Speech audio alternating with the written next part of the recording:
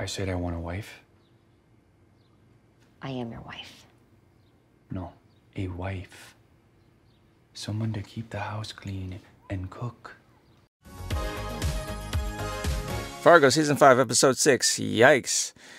Out of all the seasons, I don't recall ever actually being emotionally moved by the show. I know I've appreciated the cinematography, style of writing, sets and costumes, the whimsical tone, all that good stuff. Some seasons are forgettable, of course, but honestly, I just don't ever remember feeling like, wow, this is powerful. And what I was left with at the end of this episode was the scene with Indira Olmstead and Mrs. Lyon. I just felt a real emotional resonance there, and usually I'm extremely cynical about most shows. This is going to be brief. I'm just going to give it up to Lorraine Lyon's character and her arc. First, Roy tries to play his hand, and she just comes back with a ferocious vengeance. A big old fatty FU to Roy and Duggar, who turned his back on the deal after pressure from Roy. So satisfying to watch her duke it out with Roy. Most importantly, though, it's the final scene with Indira that's the real centerpiece. After Indira gives it her all to open Mrs. Lyon's eyes to her daughter in law's greatness, Mrs. Lyon slowly has a transformation.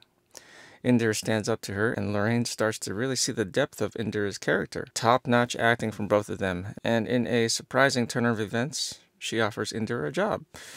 And it becomes clear that with the last shot of this episode, where she opens up Dot's case file, she really deeply sees the scope of abuse Dot has had to endure.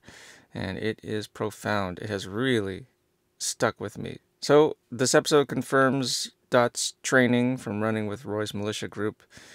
And that's all good, but there's something really satisfying about seeing Mrs. Lyon making this turn in her arc where she will likely become a powerful ally along with Indira to help out Dot in this fight against Roy. Just powerful stuff. That's all I got here. Keeping it short and sweet. Don't forget to like and subscribe. If you're wondering who the hell I am, you can watch this video here, and I will see you in the next video where we break down some of the filmmaking artistry of Fargo Season 5, Episode 7. Ciao!